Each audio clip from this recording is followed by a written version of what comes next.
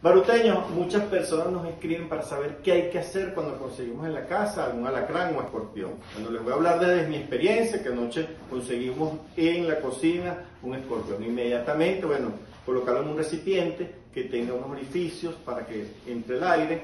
Me recomiendan colocarle un algodoncito húmedo con agua y traerlo aquí al ambulatorio de las minas de Baruta, donde está la división de epidemiología. Ellos se encargan de llevar estos animales allá a la que es la medicina tropical donde sacan el suero.